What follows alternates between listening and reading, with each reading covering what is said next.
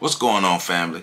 I'm just here to remind you that you can get yourself a copy of my new book, On the Shoulders of Giants, Volume 4 of the Caribbean, by visiting my website, www.ontheshoulders1.com, and help support me as I continue on my mission to make sure that my people have our information, even though, you know, there are many people trying to stop us from learning our history. But hey, we can teach ourselves. And one of the tools we can use is my new book, On the Shoulders of Giants, Volume 4, The Caribbean.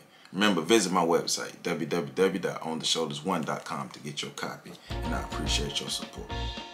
Sylvia Del Villard, one of the most notable Afro-Puerto Rican advocates. Sylvia Del Villard was born on February 28, 1928 in Santurce, Puerto Rico. She was the daughter of Augustine Villard and Marcolina Gilbert, parents who recognized their daughter was talented from a young age. Not only was Villard a very talented young girl, but she was an excellent student as well. She was one of the top students to graduate grade school in Santurce, Puerto Rico.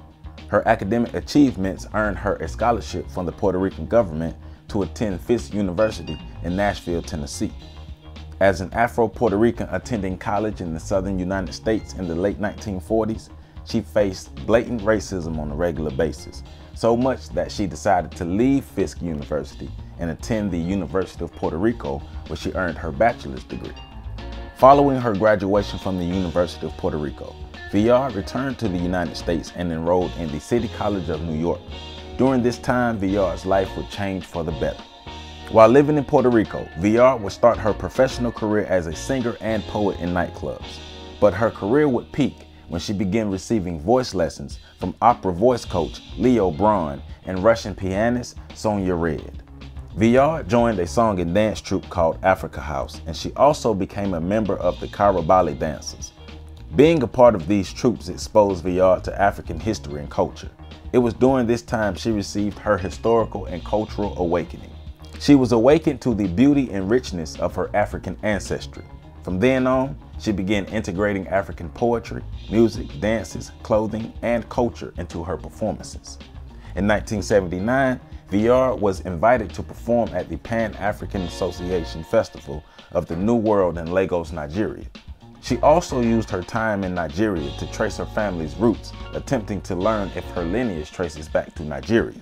In 1968, Villard founded the Afro Boricua El Coqui Theater, an organization that was recognized as the authority on Afro Puerto Rican culture by the Pan American Association.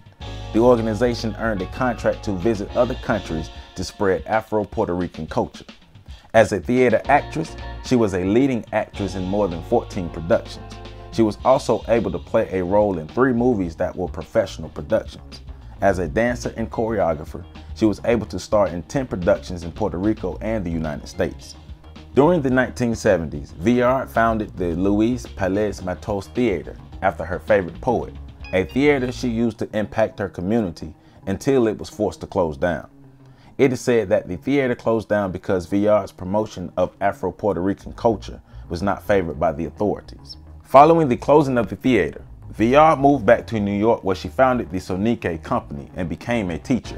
In 1981, she became the first and only person as director of the Office of the Afro-Puerto Rican Affairs of the Puerto Rican Institute of Culture. Sylvia Del Villard died on February 28, 1990 due to lung cancer in Puerto Rico. Her spirit of activism was felt throughout her lifetime and is still being felt today. Her strength, courage, and tenacity is what helped her to live a legendary life. To Sylvia Del Villard, we proudly stand on your shoulders. For more information, make sure you visit my website at www.ontheshoulders1.com. There, you can get a copy of my new book, On the Shoulders of Giants, Volume 4, The Caribbean. You can also support me on Patreon at patreon.com backslash OTSOG, and you can hit the super like button up under this video. I love you all and catch this next video coming up.